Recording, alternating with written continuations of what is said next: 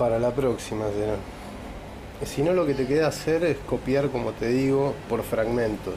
Porque cada estructura... de hacerlo, pero